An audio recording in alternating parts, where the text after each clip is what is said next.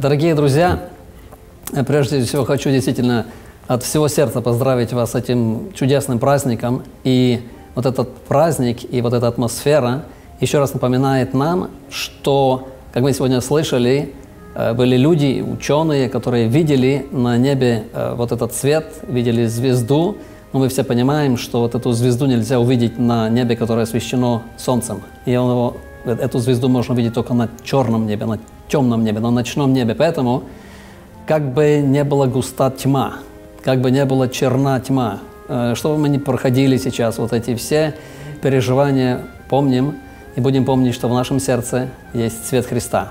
Он в нас, и Он никогда нас не оставит. Поэтому пусть Бог вас благословит.